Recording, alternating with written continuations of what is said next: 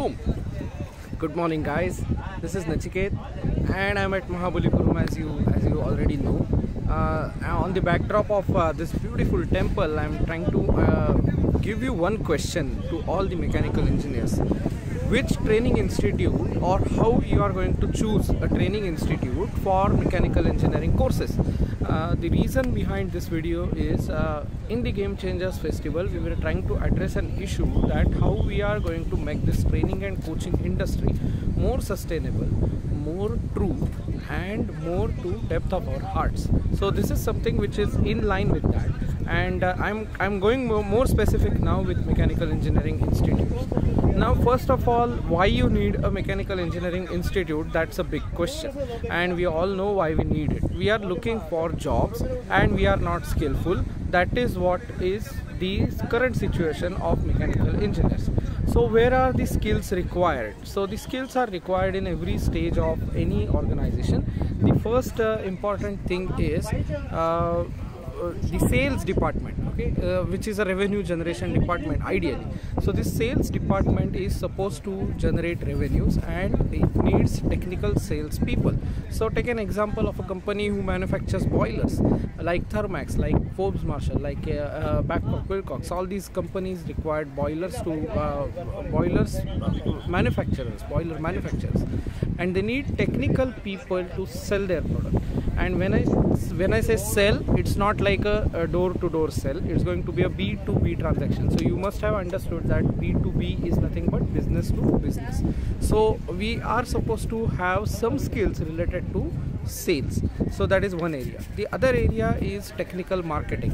Now this may or may not be too much of a relevance to the technical stuff but still it needs a lot of technical details in marketing. What is the target market whether we are focusing on b2b whether we are focusing on b2c all these things we are supposed to understand.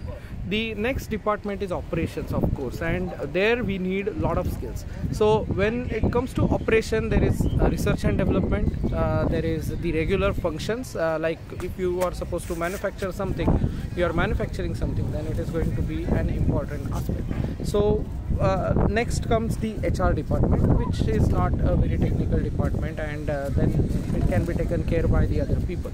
So the skill lie most of the 70% of the skills which are required uh, or to be acquired by a mechanical engineer are going to be in the uh, operations department and uh, this operation department is more or less dependent on r&d because otherwise the company will be obsolete. So we have to make sure that we acquire a lot of skills through correct guidance of the mentors. And the mentors are not available i'm very sad to say this but mentors are not available in the educational world or in the uh, college world. Uh, there are very few colleges who, who, are actually having on board the technical guys who worked for more than 15 20 years in an actual company positioned themselves as either head of departments or something like that. I was very fortunate to have my hod uh, uh, mr utpat sir uh, back in my college days as my hod who was having some 25 years of experience in tata motors. So something which is missing right now is about the technical handholding abilities and you are supposed to look forward for a trainer for a coach who is actually having some or the other technical skill in a vast way for more than 10 years more than 15 years then only he is qualified as a coach. So yesterday uh, when i posted this on a uh, on a linkedin one of my friend asked me there has to be some qualification criteria for the uh, technical coaches.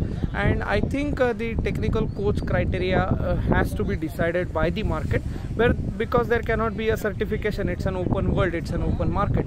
So the students must choose very carefully. They must ask for uh, detailed understanding or detailed curriculum they must ask for which role this institute is going what role this institute is going to play in my career development and whether they are going to assist me in placements. So this is something which is uh, which i wanted to uh, address largely. So just summing it up you have to make sure that which department uh, you are going to choose either sales or the r&d or the operations regular operations.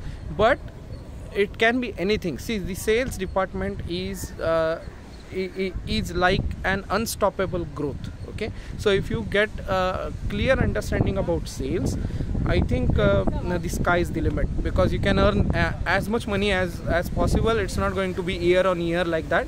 There are perks, there are incentives, there are connections. Everything happens.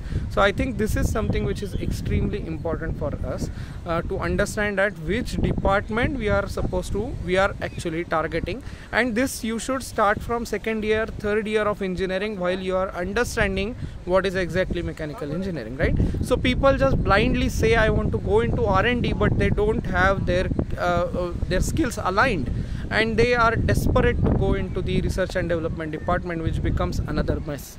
Okay? So i will uh, uh, i will give you some tips. The first important tip is write down what all departments you can serve as a mechanical engineer.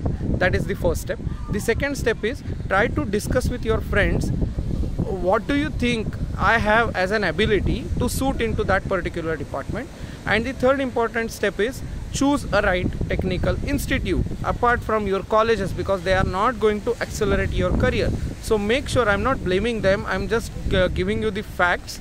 So make sure that you choose a technical uh, training institute on the basis of what are your likings and whether your likings are matching to the skill who is going to train okay. So thanks a lot guys. Uh, very happy uh, morning and have a nice day uh, ahead. I will be moving to chennai to meet some of my uh, uh, some of my students and uh, see you soon. Thanks a lot. Bye